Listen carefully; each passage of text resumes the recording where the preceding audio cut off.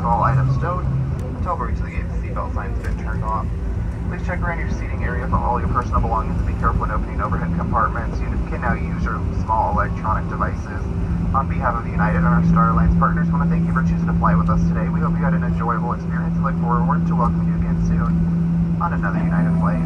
If you are making a connection here in Denver, we do operate out of all three concourses, A, B, and C. You can find the most up-to-date gate information on the United app, the departure screens throughout the terminal, or the customer service agent will be meeting the aircraft that can answer any questions. If you are one of our 32 passengers connecting onto Raleigh tonight, you will be going out of gate Bravo 32.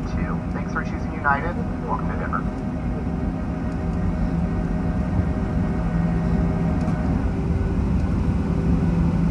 And also, if you did check a bag in San Jose, you can claim it at baggage claim carousel number 11, Terminal West, main terminal.